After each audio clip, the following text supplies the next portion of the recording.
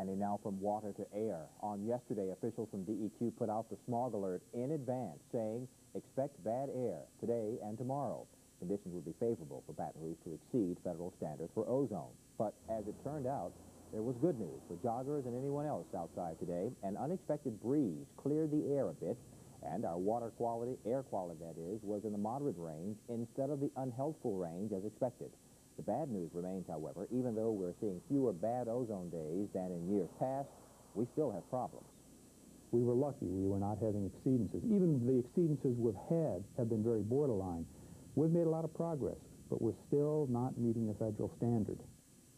Because of that, Baton Rouge motorists, all of us who live in East Baton Rouge Parish and drive a car, will have to put our cars through rigorous inspection and maintenance programs beginning in 1995.